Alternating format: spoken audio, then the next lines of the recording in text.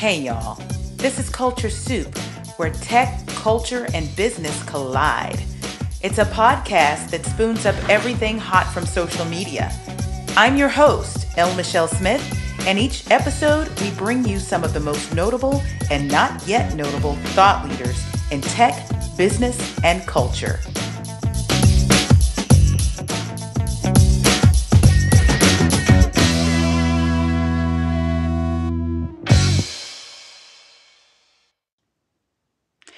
The year was 2017. It was towards the end of the year, maybe in the winter time. And I was either in DC or New York. I can't remember which one.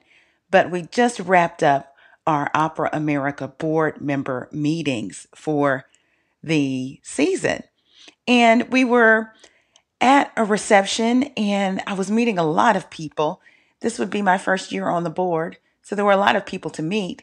And then there was this gentleman that approached me and said that she had he had someone for me to meet and that he felt like we would be great friends. Well, it turns out that his friend was none other than Denyce Graves, the opera diva, mezzo soprano in the operatic world. He wanted to connect us because he wanted me to know what she was doing and he wanted her to know what I was doing. At the time, I was still working at the big company, but I was carving out my platform. I had started the Culture Soup podcast uh, by the time she reached out, but it was definitely in the oven and in the works to be launched in 2018. All that to be said, time moved on. I left the company, I started my business, and she went on her way too. You know, we first started out as opera board, Opera America board members. And she got pretty busy. So she wasn't able to make all of the meetings, but she did reach out to me by email. And she shared it with me just the other day because so much has passed. And in fact, even a pandemic that I'd almost forgotten that we made contact back in 2018. She shared with me the email and we were able to reconnect because she got her hands on my book and she loves it. No thanks. Seven ways to say, I'll just include myself. And she reached out again by email. You know what? It seems a little bit wrong for me not to follow up on an email from someone like Denyce Graves, who sung for presidents and potentates and anybody who's important and been on stages like the Metropolitan Opera and the Kennedy Center. She's a Juilliard professor y'all. I, you know what? Every once in a while, I bring my opera friends on because it's important for you to know that opera is black, just like it is anything else. And I have the people and the friends to prove it. So without further ado, I want to introduce to you. Some of you already know her wonderful mezzo soprano voice. The rest of you, get to know her as a person and the work that she's doing to ensure inclusion in the opera. Let's get it.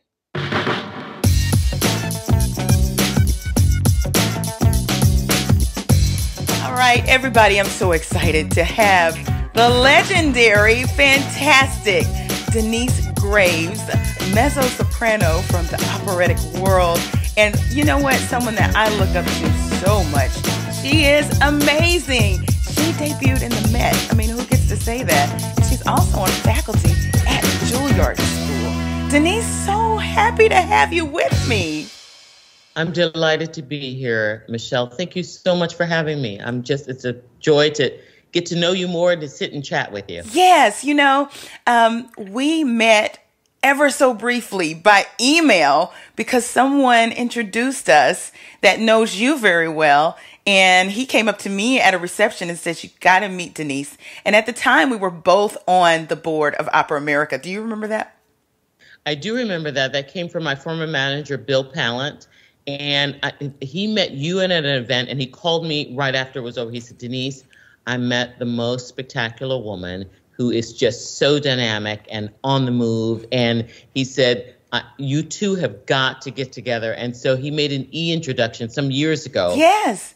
we're chatting. We're, we had one telephone call, but we also exchanged email oh, I don't know, three, four years ago. Yeah, something like that. And you know, when you mentioned it to me, I almost had forgotten. And I said, I said a whole pandemic has happened in between, and it's true. Right. But besides that, you know, um, I left my job at AT and T. So much has gone on, but I'm so glad that we reconnected. And when you reached out to me after receiving my book.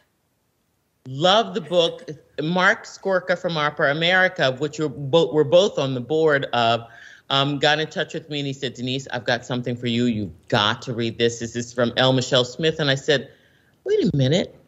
I think I know her. I think she and I were exchanging email, you know, some years ago. And now yes. you're out there and doing all this amazing work and writing books and and and and role modeling that to your beautiful daughter Aww. who has got those same aspirations and changing the world. So I'm oh. delighted. Oh. Well, you know what? That means so much coming from you because I have so much admiration for you. But you know, before we get going, how about we have a culture soup moment? You ready?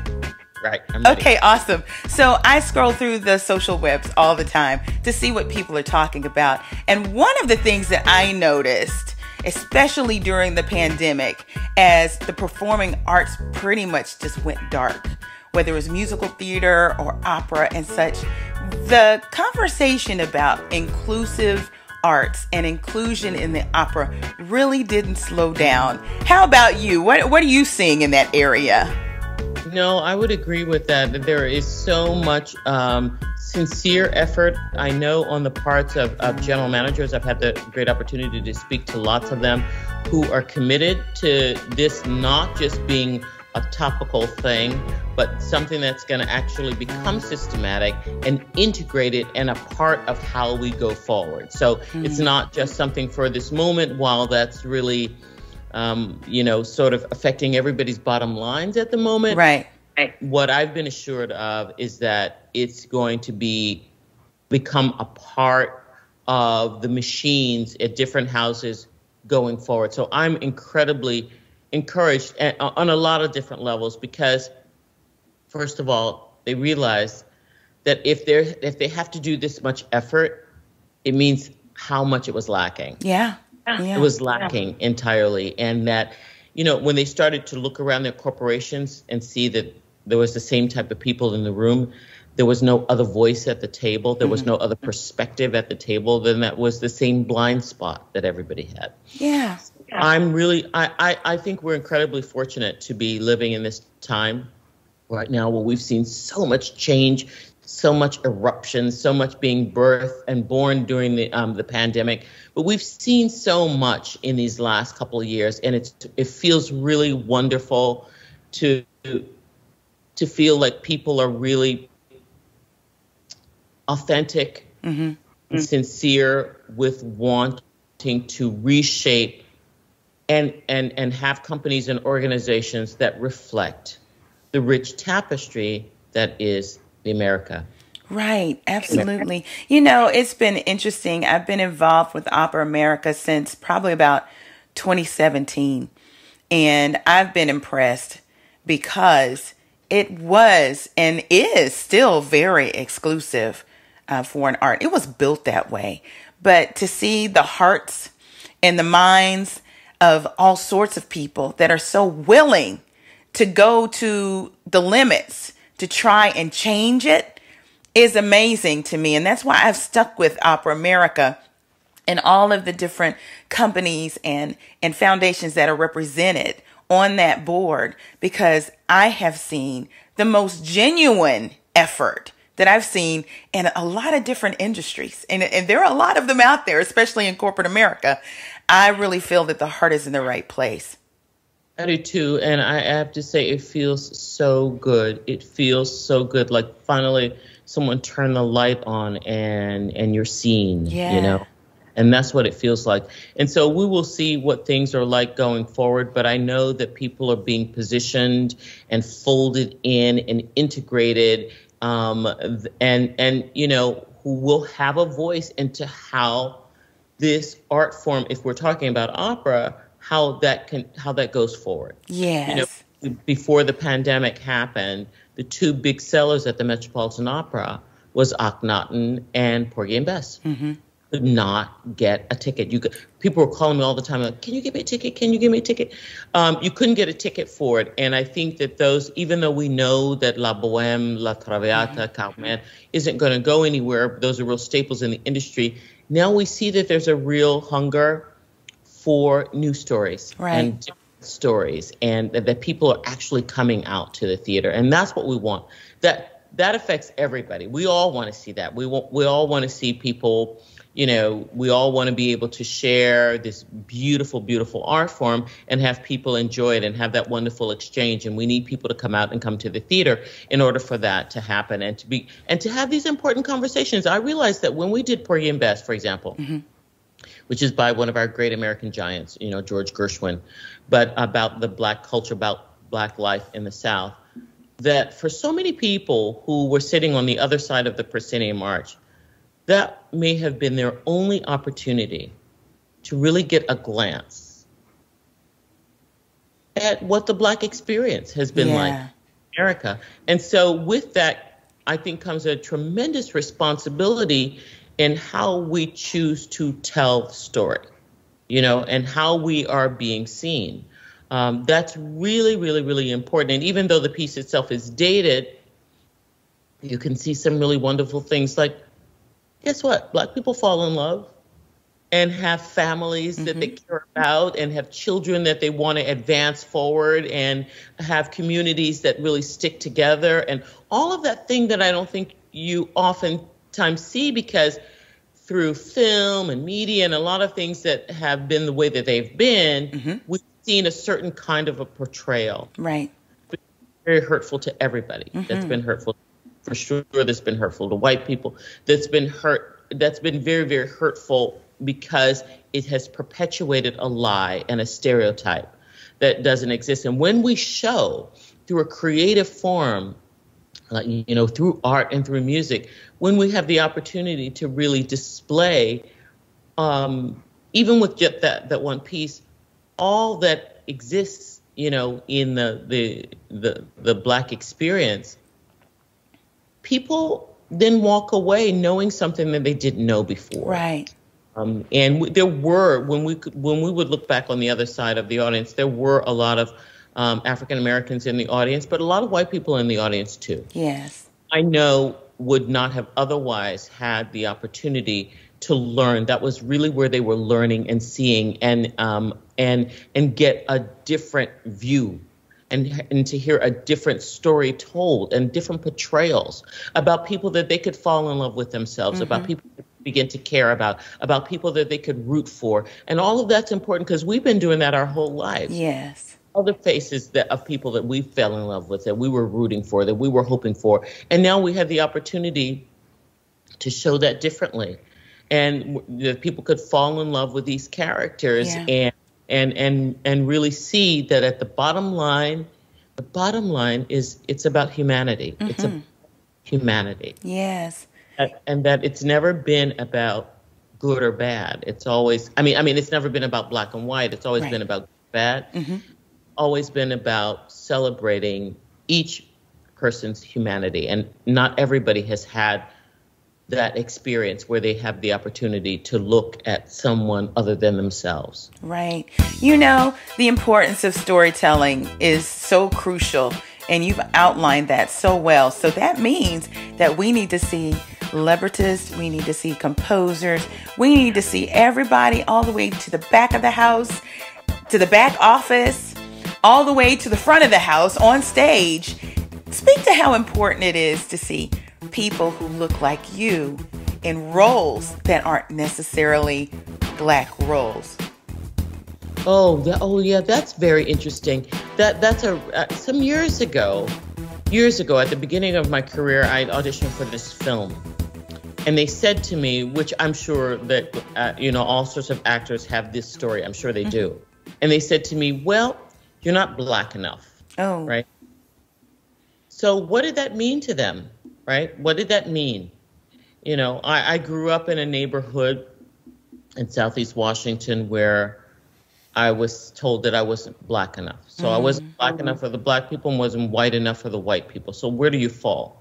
you fall in humanity. You fall in just a human being. So that means that people are operating for, from a stereotype. And for those people in the black community that, that said I wasn't black enough, I also, this is incredibly important because what we have been told is a narrative about who we are that is not in our best interest that in fact is perpetuates a stereotype. And we've believed it too. That's why i said it's hurt everybody. Yes. That's why representation is so vital. It's vital because otherwise somebody else is telling the story of who they believe you mm, are. mm-hmm. and they don't know you. They've never met you right? Right. they don't know anything about you. And people are people. And it was that wonderful line of course that we know that you know i think it was tony Mor- was it toni morrison or um uh, maybe it was maya angelou okay. that more alike that we're more alike than unalike. Right people don't have the opportunity to see that unless you meet someone else. You know, it wasn't until I mean, I, I, was 15 years old and I went to Germany and lived with a German family. And that was so exciting for me. And I remember a conversation that my I heard my German mother having in German, of course, um, over the telephone one mm-hmm. morning. She said, "We have an American staying here with us," and I remember how that hit me. Like, oh, I was an American, and and I didn't even feel like an, an American in America. Yeah. Like I was like the black girl or the other sure. person, or, uh, you know. And and I just remember the pride that I felt mm-hmm. of like, oh my gosh, I'm an American, and the and the proud that she, uh, the pride that she had in telling that to her friend on the, we have an American staying with us. That's so very very important because for such a long time they have you know, they, I mean, those who have been in charge of the narrative, who've mm-hmm. been in charge of putting images out there that have been negative, that have been hurtful, that have been damaging, have, that, that, that perpetuate that in film, that perpetuate that in print, that perpetuate that, you know, um, in um, media, all of those things. And unless you have the opportunity to meet somebody else, yes. you don't like I don't know what it's like to meet a, uh, to to hang out with another German person until I go there. Right. And I actually meet them, and they meet me, and they say, "Oh, I didn't know you were this cool," and I say, "Oh, I didn't know that you were this cool." Yeah. It's not until like you go to Asia and you meet. You know, I, I, I spend a lot of time in China, and you meet Chinese people, and they meet you back. Yes. And you fall in love with them, and they fall in love with you this is what heals the world. Yes. This is otherwise people don't have any experience for themselves, so they just watch what's being fed to them, right. and what's being fed are these constant lies, mm-hmm. right? That everybody's believed. So when I said that, you know, the black people say that I'm not black, it's because black culture has been so hurt yes. about media telling us who they believe we are to be. So if I don't fall into that, then even my own people say, well, you don't belong here. Oh, yeah. And then white people say, well, you don't belong here either. So where do you belong? right. You're, hum, you're, part of the human race. And so the, to answer that question, Michelle, mm-hmm. it's vitally important. If we look at everything that was happening with the pandemic, right, and we looked at this constant execution, you know, of, of beautiful black men, which we know has been happening the whole time mm-hmm. anyway been happening the whole time. We've been saying it the whole time. But finally, somebody's got the camera on right. and people see it for themselves, mm-hmm. you know? Mm-hmm. Um, and, you know, I, I, I, I was speaking about this the other day, and there was this wonderful white woman who said, when George Floyd summoned his mother, mm. when he called for his mother, he summoned all the mothers out. Yes, he did.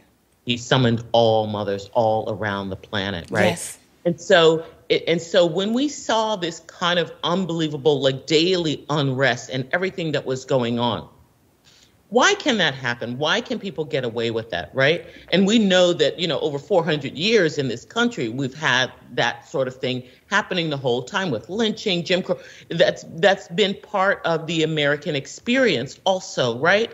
But why have people gotten away with it? Well they've gotten away with it because, well, first of all, the, the majority has been in power. And again, they have the same blind spot. But, but more importantly, they've been told a story that dehumanizes black people. And when you dehumanize them, then you can justify yes treatment because you don't see them as human anyway. Right. Right. So you you're able to do that, and that why is diversity important? Because we need to sit across the table from each other and say, "You're just as good as me." Right.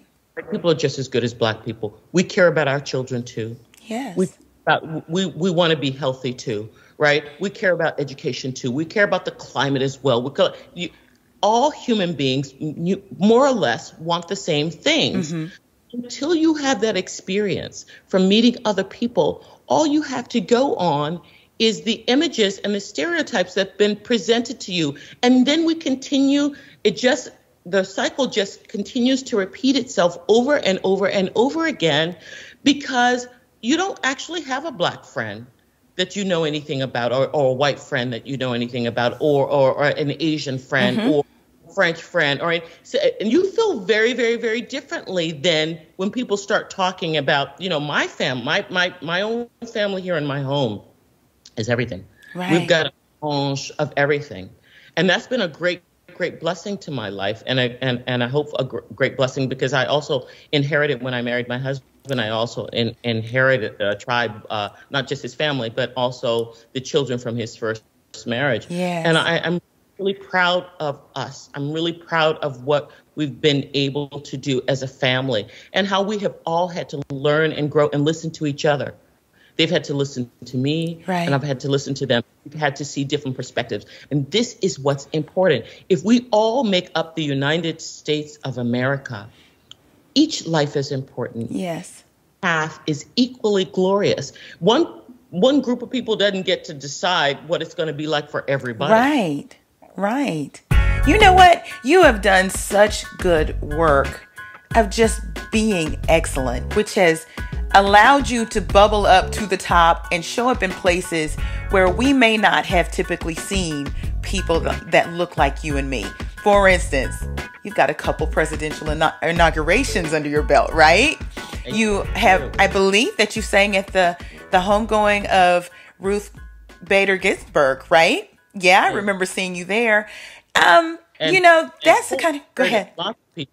Yeah, Yes. President And, and, and done a lot. I'm, I'm born and raised in Washington, D.C., so I've been uh, involved and embraced in the political scene here um, and have participated in a lot of important um, events. That does so much for little black girls, little black boys, little black anybody right. to see you, even grown people to see you in those spaces. But you touched on something that's really interesting when you went uh, to the point where you were saying that you have gotten criticism from other black people saying you're not black enough. Now, I I know this like I'm so that that's such my story growing up because as you know, I'm classically trained as a mezzo soprano. A lot of people don't really understand what that means. They they make the leap to opera first of all, which it doesn't necessarily mean that. It means that I was trained in the classic way, right? And I did learn a lot of classical music, but I sang all the genres. And I would typically get the side eye from a lot of my friends, some family, because I didn't sing gut bucket gospel, which is, I love, you know, but there are mm-hmm. other people that did that.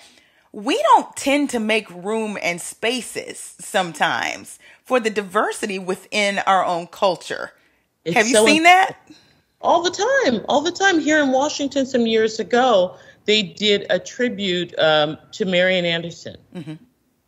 Okay, the first African American to sing at the Metropolitan Opera. Right. There was not one opera singer involved in the show. Not one. Again, that was a, again another blind spot. Because you know I think people think that that belongs that's a European art form and that belongs over here. And there are fant- there's lots of wonderful amazing Yeah, ama- I mean you know, amazing artists that have come before Absolutely. Marian Anderson you know Sissieretta Jones Mary Cardwell Dawson Elizabeth Taylor Greenfield you know Marisa Select the Hyers Sisters, and then um, Marian Anderson, of course, the great, the great, the mighty, you know, Leontyne Price, probably the one, the greatest voices of, of- of our hands down. Um, and lots of wonderful artists who are out there today, you know, beautiful. There, there is an array of excellent artists that even within the culture, and when these people are planning you know so, so this is why it's important so i want to thank you for having Yeah. me on your show because this is why it's important um, that i'm here Yes. because people don't know or they're not in the areas where they would know about an opera singer or learn about different opera singers um, and so we are as varied you know as a as a as a group of people as any as anyone else Yes, right? ma'am. Any- Yes, ma'am. yeah, there's a whole span of great excellence and artistry going on in every area. Um, and so we have to learn you know to also look at the refined arts as well. I mean i think a lot of people now know misty copeland Mm-hmm. right? Everybody's really really proud of her. Um, you know, to see her out there dancing as a classical, Mm-hmm. you know, a classical arts. And, you know, I'm part of the Kennedy Center Honors, uh, the artistic uh, committee. And it used to be very, very early on that that that that uh, particular franchise was just celebrating the refined arts and Mm-hmm. now opened up to all kind, you know, LL Cool J one, one- Right. and now we're seeing all Debbie Allen. Debbie Allen just recently, which was awesome, fantastic. Um, and but um, but yes, so we all have to learn. It's but it's important that there's representation within the Black community as well as to um, the wonderful artists who are across all kinds of genres of music, because um, we have so much to offer. We have so much to say. We're out here doing great work. For those people who have said, you know, that I wasn't black enough, I've been black from the very beginning. And I got to tell you, when I'm over in China, Yeah. or when I'm in, you know, uh, Russia, or when I'm in Ireland, you know you're black. mm-hmm. Okay, so you can't tell me that I'm not black enough because I have been so often the only one in the room. I know that more, more so than you know someone else who's Right. with. So I know what that means, but I, but but what but what needs to be healed in that statement in saying you're not black enough is what needs to be healed and what needs to be addressed is because we have been told that this is who you are. And mm-hmm. no one can define who you are right? You cannot let or assign somebody else who's not you define who you are. But you know so that's been very hurtful to the black community because people have people drank that kool-aid Yes. and okay well then this is what i am. Right. this is am and if you're not like that then that means you're not like us but that's Right. a lie Right. Well, and you know, they're showing up and being in spaces and being your authentic black self. But then there's also doing the work. You want to talk about what you're doing with the Denyce Graves Foundation? I think it's fascinating.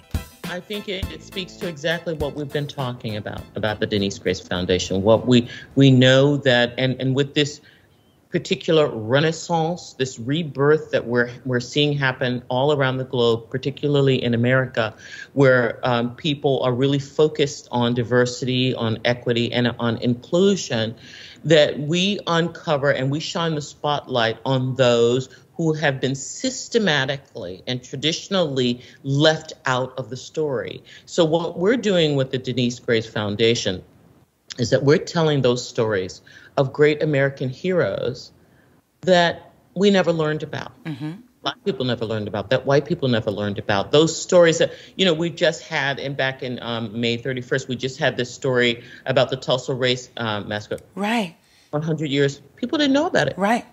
You know, people didn't know about it. Um, we're seeing the birth of lots of organizations that are. There's a wonderful woman by the name of Hannah Drake who's doing something called the Unknown Project, and again, it's about celebrating those great Americans who have traditional been left out of the story. So we are going through the lens of music with the Denyce Graves Foundation. So we look at somebody like who has served as inspiration for us, and that is Mary Cardwell Dawson. Mary Yeah. Cardwell Dawson wanted to be an opera singer. Okay.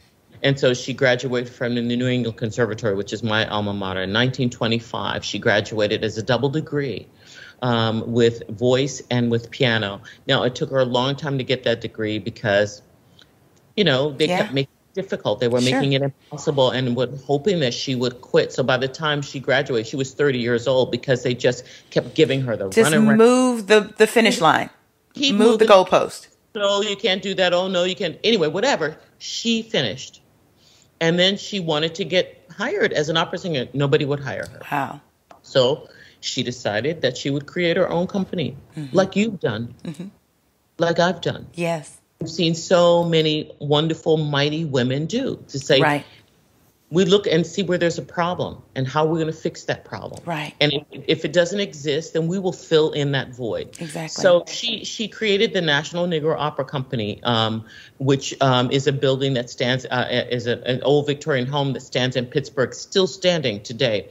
Um, it was the longest running, the most successful, and run by this black woman.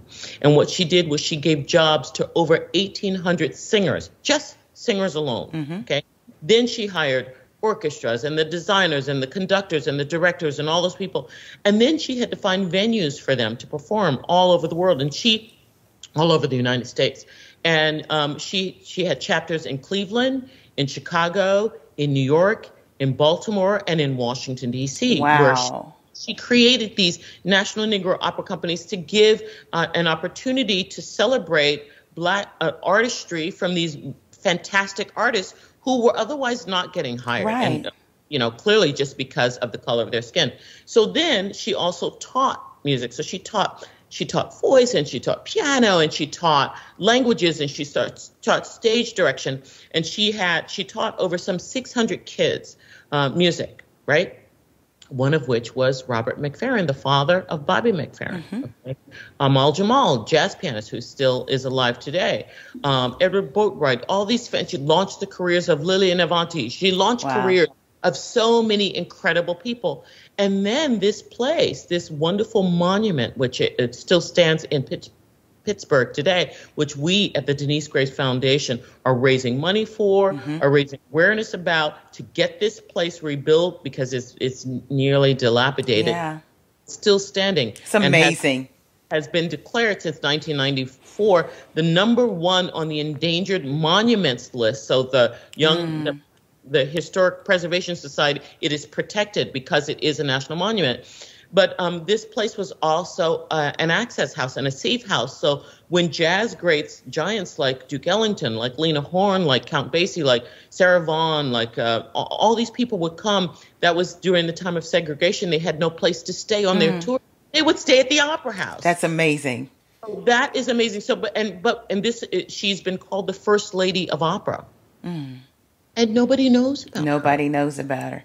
Another nobody. hidden figure in opera another hidden opera. So what we're concerned with at the Denyce Graves Foundation, we are an organization that's about hidden figures, about great American heroes, mm. and about bringing those stories to the public through the research, through our programs, through um, you know getting into getting um, educational model uh, modules into the public schools, into the music conservatories, the schools of music, all kinds of things like that, and that's what we're doing. That's amazing. And this conversation I had with you and one of your leaders of the organization, Ronald, Ronald T. Smith, yeah, yeah. it was an awesome conversation. And one of the things he drew out, and you brought this parallel out just then too, so much of what we're doing is parallel. And what Miss Mary did with that opera house was a way to say, I'll just include myself. I love that. It's what we have to do sometimes. It's exactly what you have to do because, uh, again, again, if if this is being controlled, uh, the way that the country has been unfolding has been under, you know, white um, dominance, then they're not going to see that. They're mm-hmm. not going to know that um, uh, uh, until they do. And I think that what's happening now is that we're seeing people who are, as as we said earlier, authentically sincere about wanting to make this country more equitable, more inclusive, more diverse, and reflect who we are Absolutely. American experiment, that we are an amalgamation of all kinds of different cultures. And that is our strength. Yes. And that is our beauty, yes, is that we've got so many different voices and so many different perspectives, and that we can find a way to use this to advance us forward as a nation. Absolutely. Denyce, what's coming up for you, for the foundation? What do people need to know?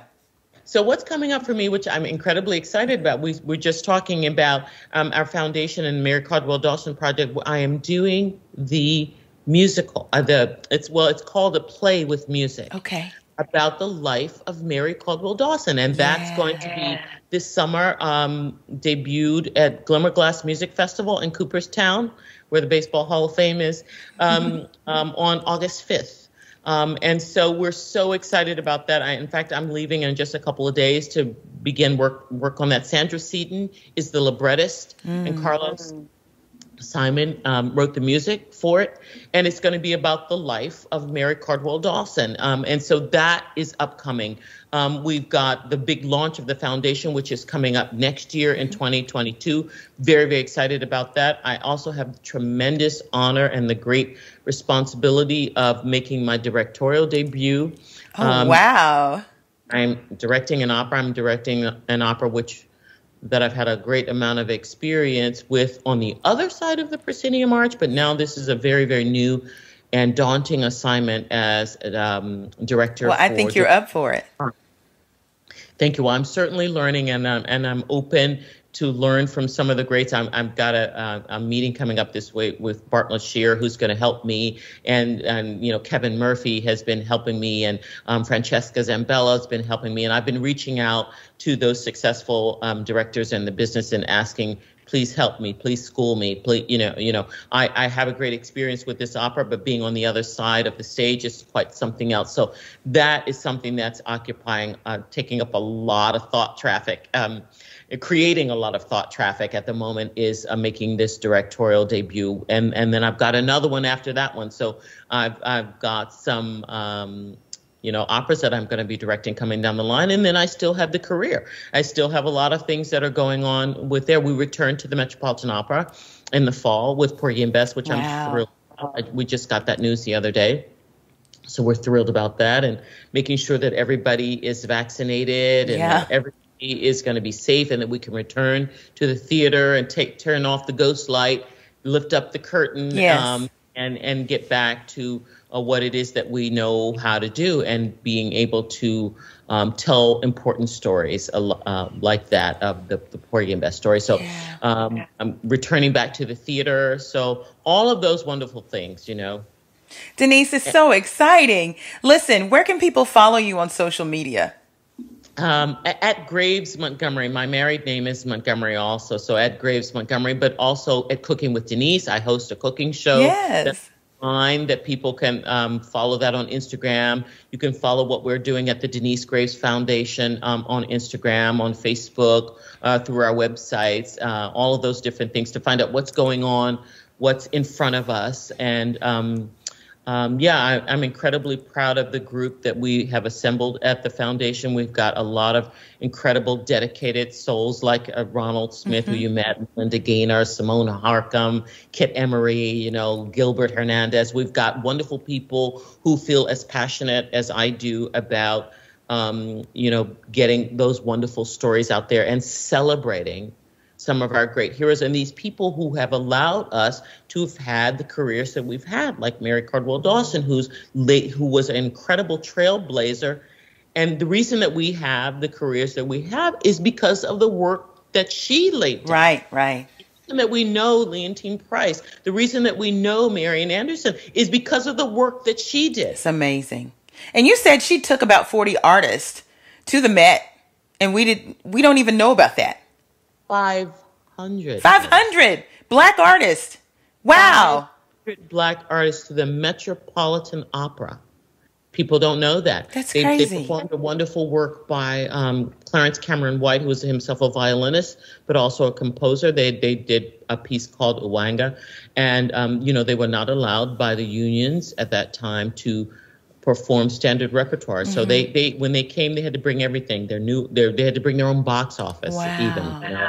um, they had to bring their own opera and their own people, their own stagehands, their own you know everything, their own orchestra, conductor, director, designer, dancers, everything. But over 500 people.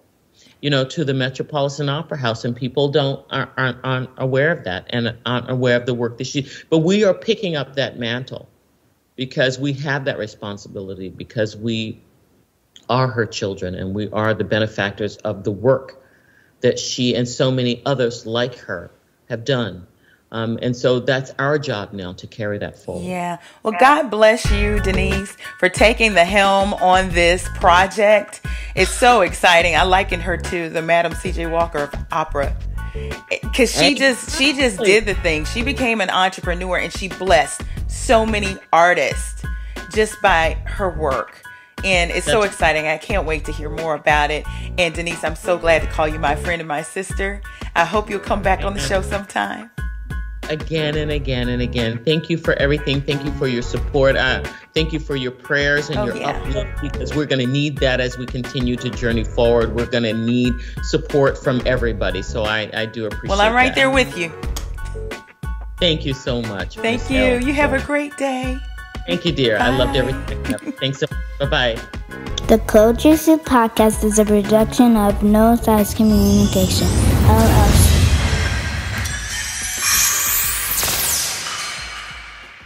The Culture Soup Podcast is a registered trademark of No Silos Communications, LLC.